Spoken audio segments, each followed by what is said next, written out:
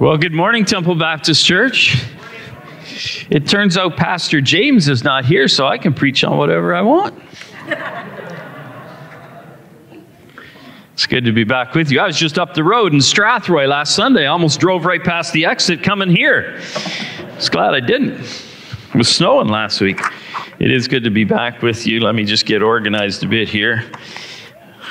We're going to have communion at the end here, so let me put this where I can find it. We are beginning a new journey this morning in the book of. You are so clever. Doesn't that look great? I don't know who did that, but doesn't that look great? Really looks great. Yeah, you can clap. God's okay with clapping. Let's go to the Lord. I need his help. I want to ask for it. Thank you, Gail Ann and worship team. I could sing of his love forever. Amen. Couldn't you? Sure could. Let's pray. Father God, we, we've lifted our voices to you and the reality that who else would we turn to? You are our God and we are your people. And Father, as we start this new journey this morning through the book of Ruth, this amazing story that mirrors the redemptive, saving love of Christ would you just impart upon our minds and hearts what it is you would have us to learn? And Father, would you help your servant this morning? Just clarify my thoughts and anoint my lips and, and just help me. We've come to hear from you. And Father God, we just, uh, as I heard all those kids go out to the treehouse, bless them this morning. Uh, thank you for children and uh, all of those workers down there. And so bless those kids. I know that they're growing up in a difficult world. And so would you put your hand of peace and protection upon them and upon their families? And it's in Jesus' name we pray and for his glory alone. Amen. And amen.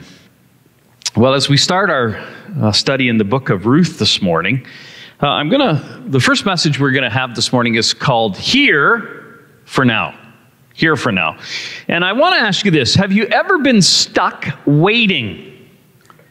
Anybody been stuck waiting where you're like, I'm just waiting?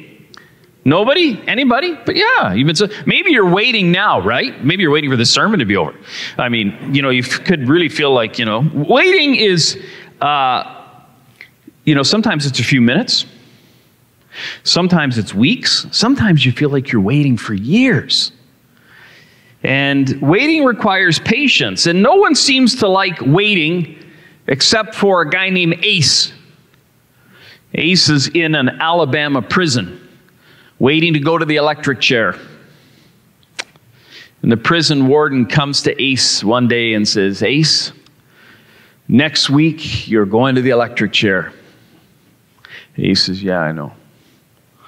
And the warden says, uh, You know, it's our tradition here in this prison that before somebody goes to the electric chair, the night before they get their favorite meal. And he goes, Okay. So what would you like? And he says, Well, I'd like a big steak, mashed potatoes, and I'd like to finish it off with watermelon. And the warden says, Ace, this is December. We don't have watermelons. And he says, I know, but I can wait. right?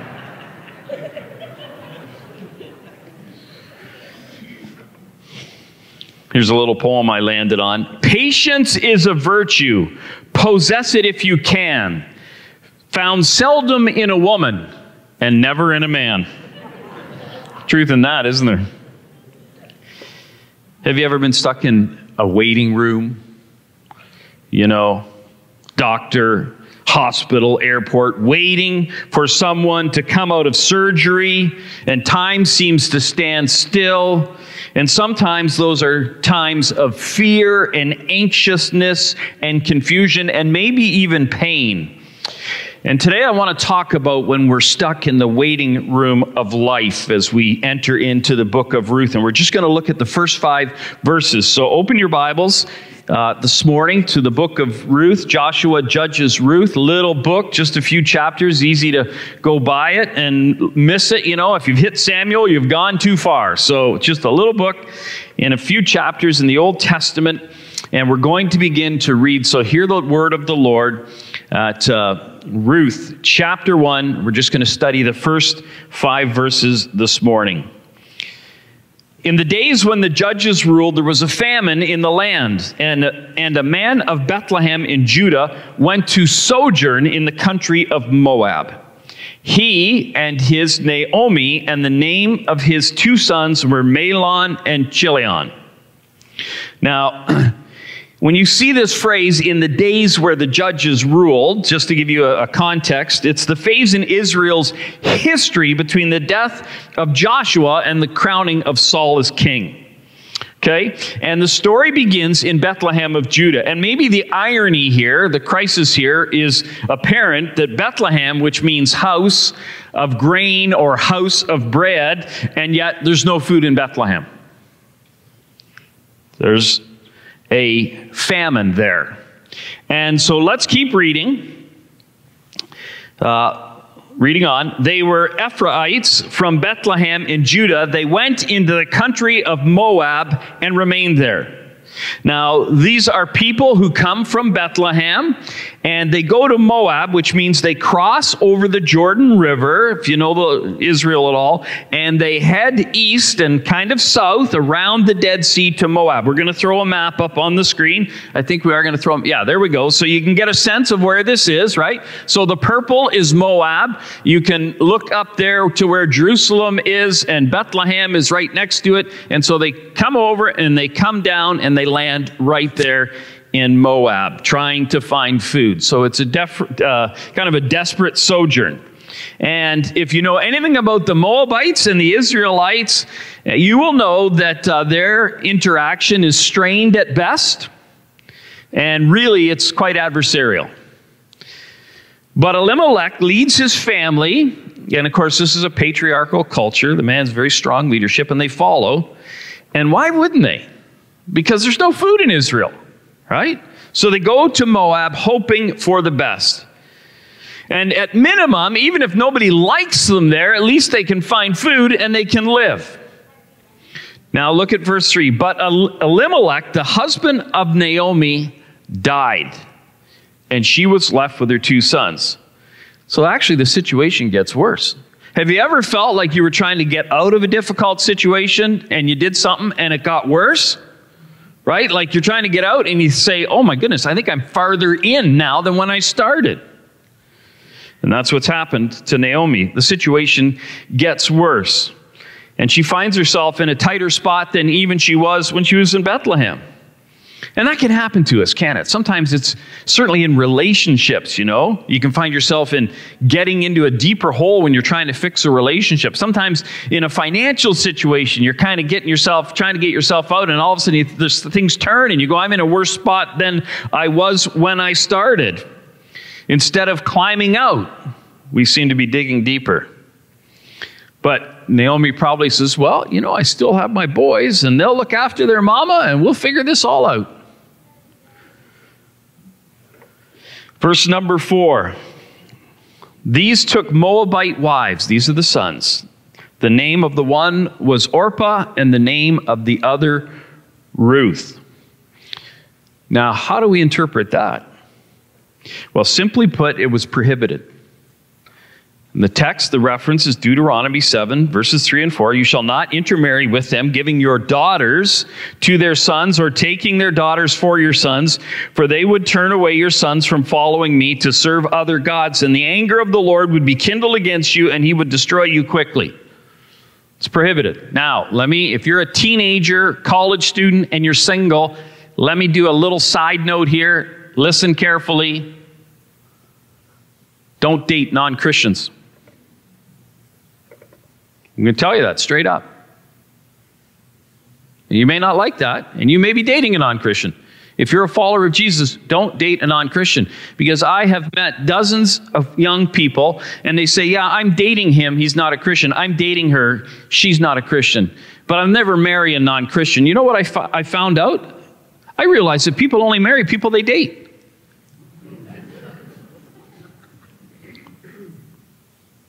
God, it's not in God's will for you to marry a non Christian. And I can tell you story after story after story where ultimately that turns into heartache, especially when you have kids. changes the dynamic.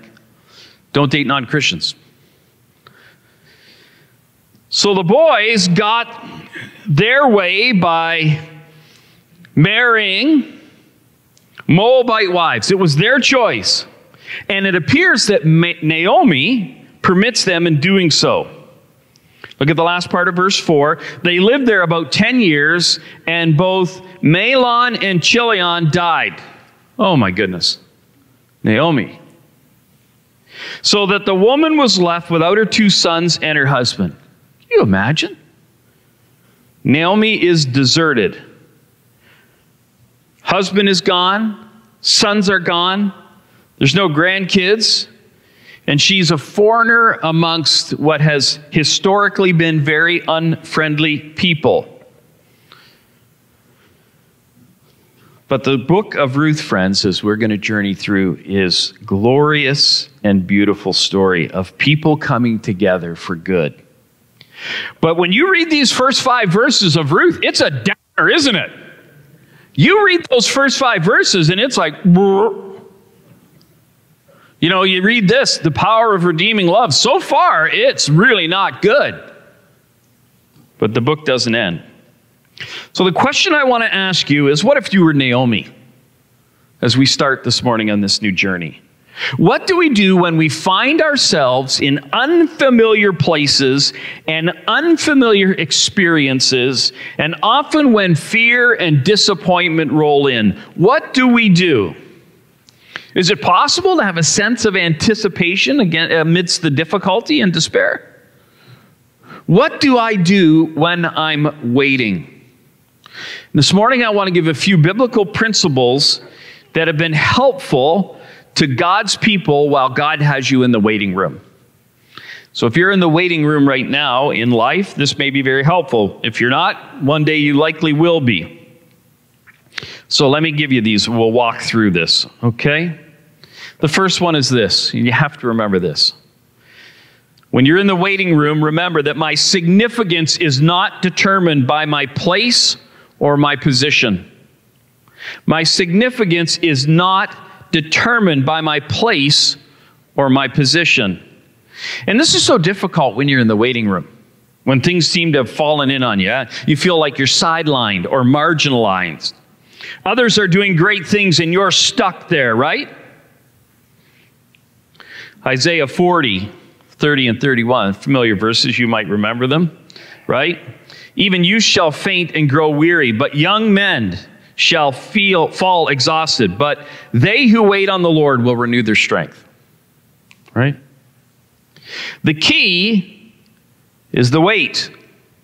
The key is the wait. Because so often in our lives, we look back and we realize what is past is prologue. Have you ever realized that? You look back and you go, oh, that's what God was doing. But that's impossible to understand, virtually impossible, if you are enslaved by what the world thinks of you. Let me say that again. You're going to find waiting extremely difficult if you are captivated and overly concerned, enslaved by what the world thinks of you. So you need to remember that your significance, your significance as a person, is not determined by your place or your position. Not in the least. Psalm 33, 20 through 22.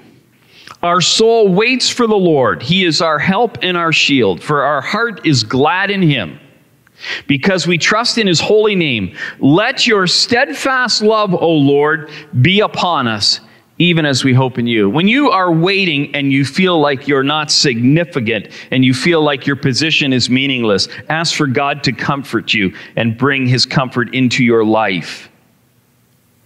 Second thing I want you to notice.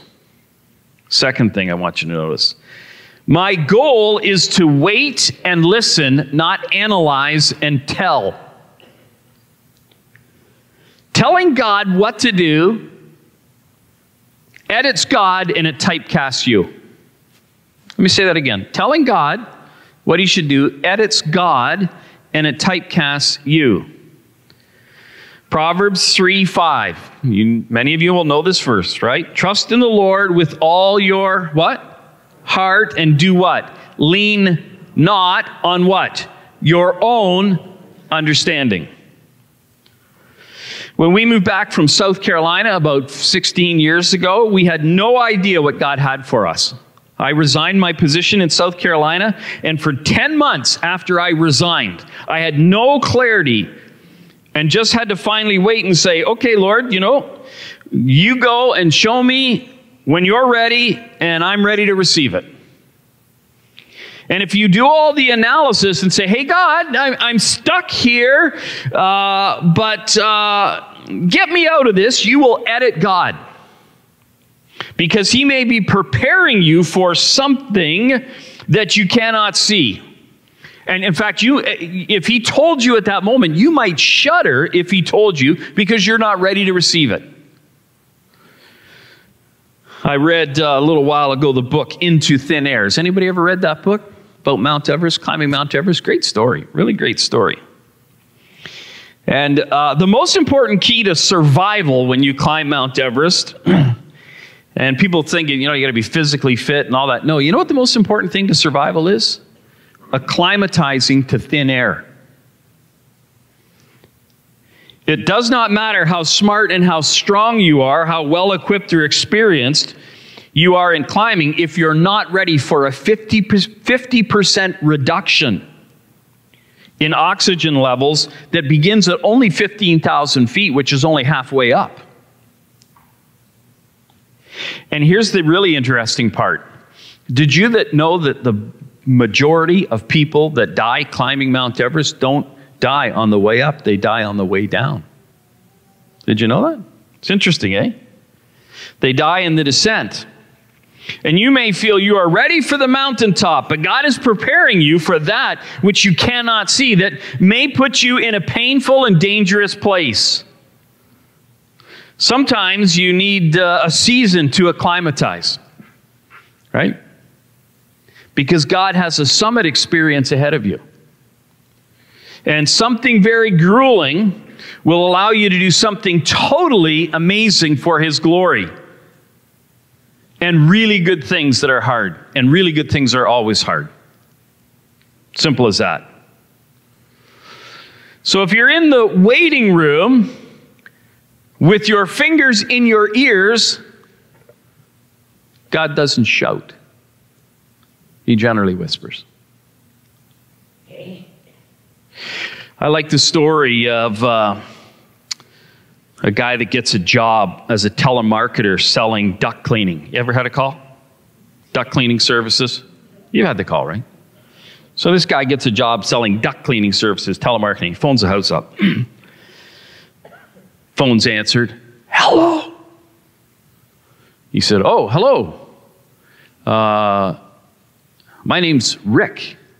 Uh, are, you, are you a child? Yes, my name's Thomas, and I'm seven years old.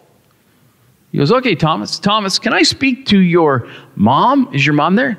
She's here, but she's busy. Oh. Uh, will she be free? Like, what's she doing? She's talking to a policeman. Oh, okay. What about your dad? Is your dad here? Yeah, my dad's here but he's busy too. Oh, okay. Well, what's he doing? He's talking to the firemen. Oh. Wow. Is there any other adults there, Thomas? Yes. I have an older brother and an older sister, but they're busy out in the yard. Oh, wow. Everybody's really busy at your house, Thomas. What's everybody so busy doing? Well, they're looking for me.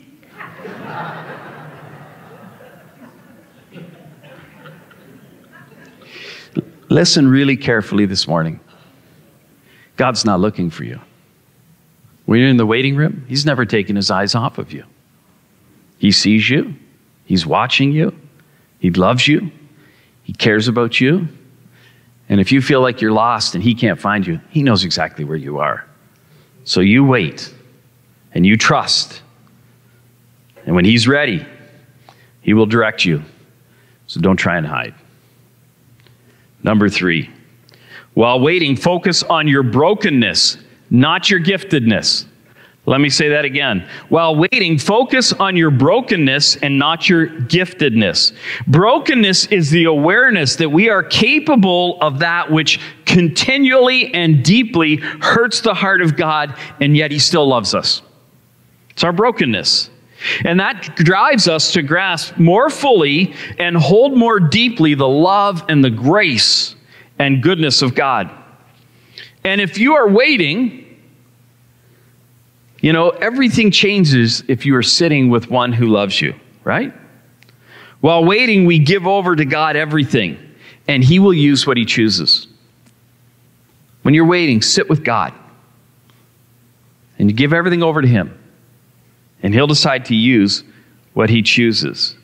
And if your focus is on your giftedness, then you give that to God and you go back to being typecast. Let God choose. And I have found when I am in the waiting room of life and it feels like God has set me aside and there's a season, I'm like, oh, I'm waiting. And, and whatever I do, this seems to get worse and not better then I find that, you know, when, you're, when God doesn't allow you to move forward in doing things, it's because He wants to work on your being. And as a Christian, you move forward on a set of train tracks. One is what you're doing for God, that's the hands. And then the other train track is the heart, your being before God. And when this one stops, this one cannot keep going. And often when this one stops, it's because God wants to work on your heart. And so he says, let's just put the brakes on. Let's just put the brakes on. Exodus chapter 4. If you want, you can turn over to Exodus chapter 4. There's a beautiful picture of this. God is talking to Moses. says, Moses, you know, I got this job for you. I want you to go talk to Pharaoh. Exodus 4, verse 10 Moses said to the Lord, Oh, my Lord, I am not eloquent either in the past or since you have spoken to your servant, but I am slow of speech and of tongue. Then the Lord said to him, Who has made man's mouth? Who makes him mute or deaf or seeing or blind? Is it not I, the Lord? Now therefore, go, and I will be with your mouth and teach you what you shall speak. But he said, Oh, my Lord, please send somebody else. Then the anger of the Lord was kindled against him. And he said to him, Is, is there not Aaron your brother, the Levite? In other words, I could send him. I know that he can speak well. Behold, he is coming out to meet you. And when he sees you, he will be glad in his heart. And then God asks Moses, of course, to throw down his staff and put his hand in his cloak, and he does. And God is ready to use him. Now remember, Moses has spent a long time in God's waiting room, hadn't he? A long time in God's waiting room.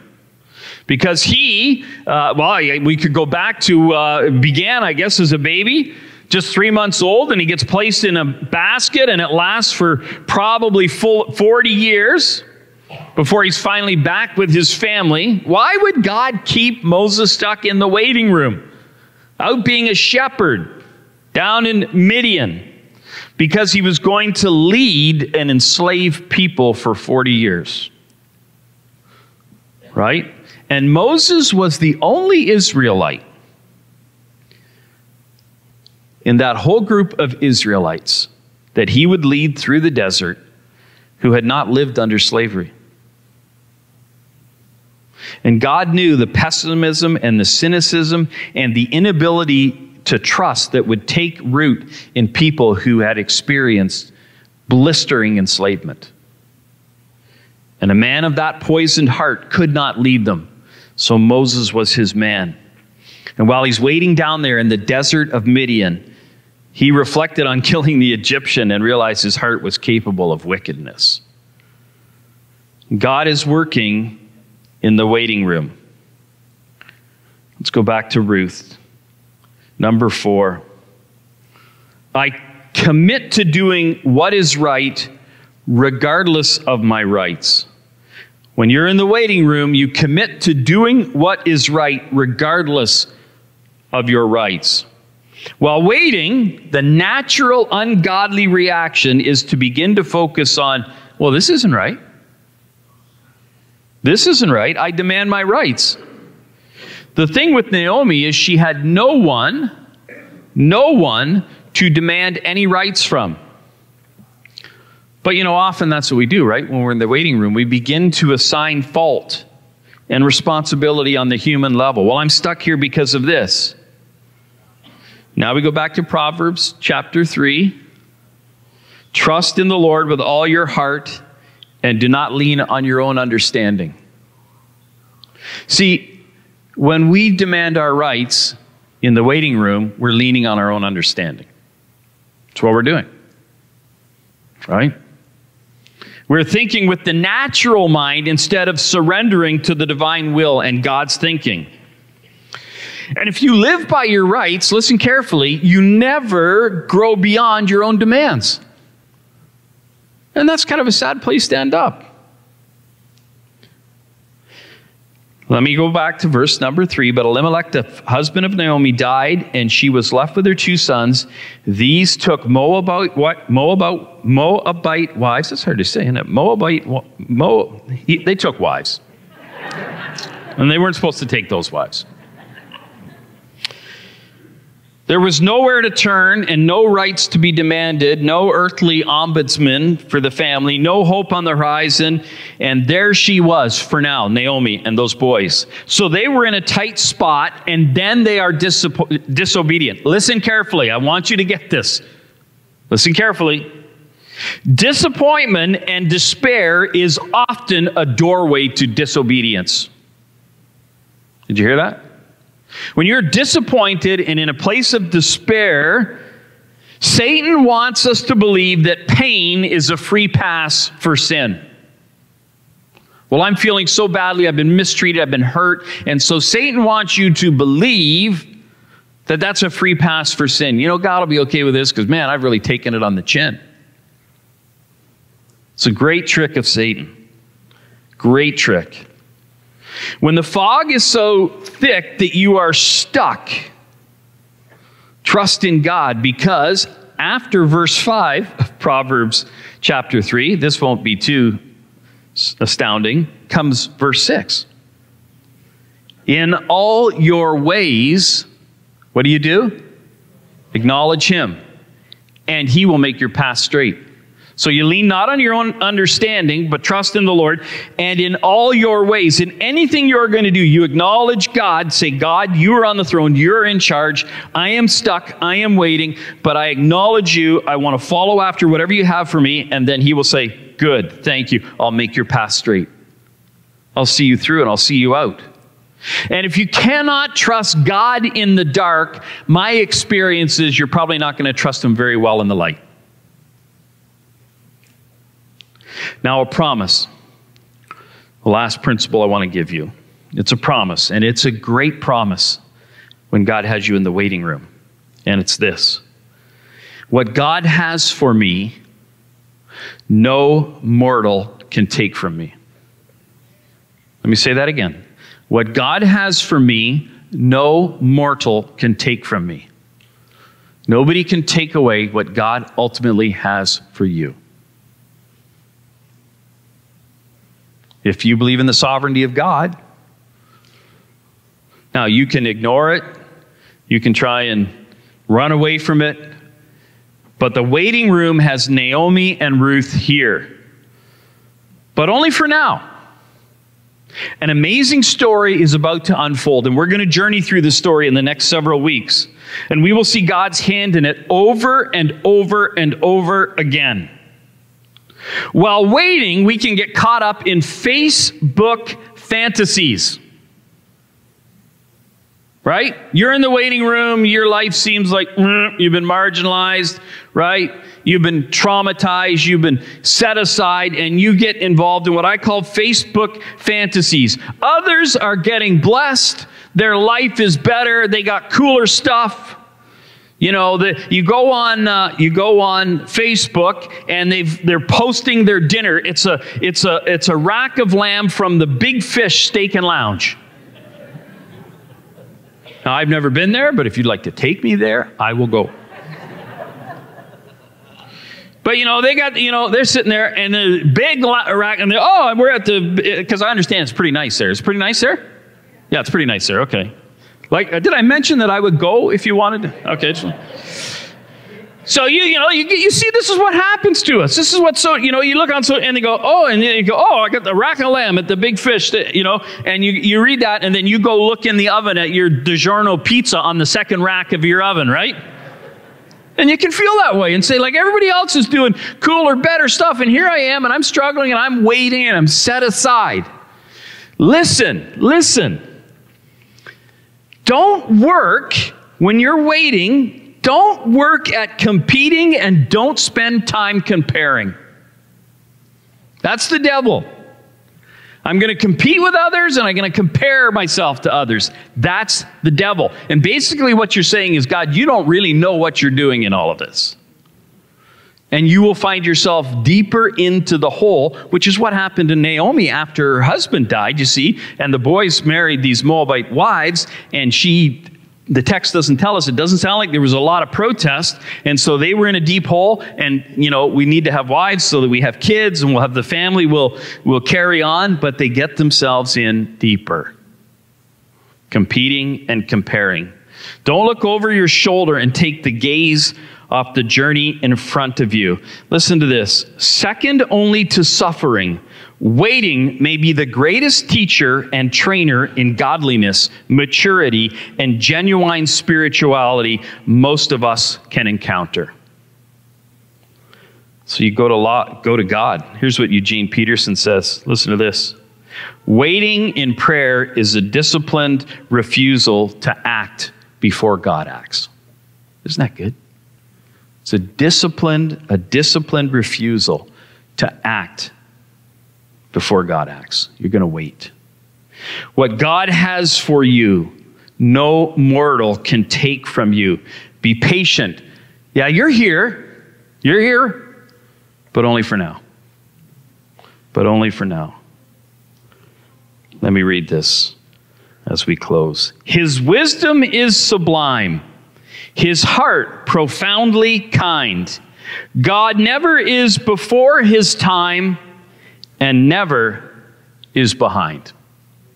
Never is behind. Let's pray, and then we'll have communion. Father God, we love you. Father, we love you. Father, forgive us for times when we have competed and compared with others, not realizing that what you have for us in store for us is held firmly in your hand. Father, forgive us for times when we have analyzed and asked you to do things instead of just waited and listened to you when we're in the waiting room. Father God, forgive us for times when we've made our agenda first and foremost and refused to let you be God in our lives. Father God, may we focus on our brokenness, realize when we're in the waiting room to, to, uh, just to ask ourselves do we have a part in this? Have we contributed to getting ourselves here? Sometimes we have. We know that. So, Father God, help us to realize those times. Cry out to you. Father, we love you. Father, as we journey through this book, will you show us the greatness of redemptive love in a fresh new way? And Father, the reality is the world is stuck like Naomi was stuck. And the only hope for the world is a Redeemer. And we have one in the Lord Jesus Christ, where you have placed your glory and your wisdom for us to see so clearly and so profoundly. We love you, Lord. We want you to hear that from our lips this day. In Jesus' name we pray. Amen. Amen.